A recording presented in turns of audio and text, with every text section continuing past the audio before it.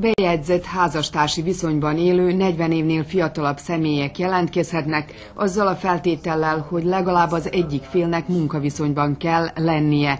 Az idei pályázat kiírásánál frissítik a pályázati kritériumrendszert.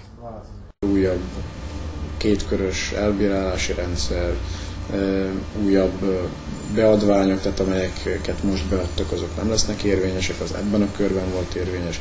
Tehát újraindul a folyamat, és újabb 40 házzal tudjuk erősíteni a fiatalok falun való boldogulását. Ha az érdeklődő házastársaknak bármilyen útmutatóra lenne szükségük az átadandó dokumentációt illetően, kérdéseikkel a pályázaton feltüntetett személyhez fordulhatnak.